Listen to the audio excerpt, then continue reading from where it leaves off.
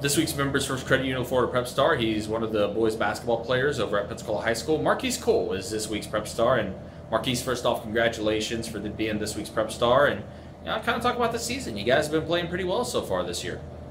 Yeah, we've been playing pretty good. We don't let our size get there. We know that we're gonna be one of the smaller teams, and other, every other team is gonna be bigger than us. So we just use our speed and just keep grinding hard through the season. Gotcha. Now we talked to your teammate uh, Traquan Knight a week ago, and he kind of mentioned the same thing about that. You know, you guys, yeah, a little bit smaller, but you guys are pretty electrifying. You guys get up and down to court quick. You guys, you know, put on some fantastic plays. It's really an exciting brand of basketball you guys have.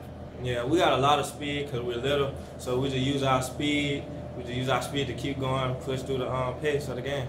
Gotcha. Now, how long have you been playing basketball for? I've been playing basketball since I was four years old. Gotcha. So basically, the same thing as Traquan. He said the same thing. It kind of the same start, or did you play in some different places when you were growing up? I played up? down at the Ferguson. That's where I grew up at. Uh, I played against Traquan Knight as well growing up, so we knew each other very well. Gotcha. Now, as far as some of the things you're looking at, as far as uh, after high school or anything, have you started making plans as far as that's concerned, or are you still just kind of focused on? I'm still kind of focused on high school, but mm-hmm. if I go to college, I really want to go for be an athletic trainer. But if I get a basketball scholarship, that'd be great also. Gotcha. Now, what what is it about being an athletic trainer? What's uh, what's intriguing to you about that?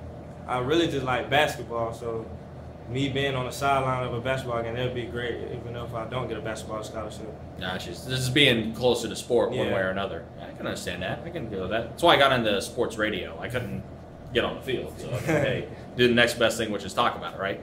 Yeah. Uh, now, as far as um, some of your goals, as far as what you're looking at and everything, any goals in particular that you're trying to achieve for this season? Yeah, we're trying to remain number one in district and win us a district championship game so we go further down the road, so we can win, go to state Gotcha. Well, hey, Marquis, hey, thanks for the time. We appreciate it. And congratulations again on being this week's Prep Star. And that's this week's Members First Credit Union Florida Prep Star. Marquis Cole as we're setting up the alarm.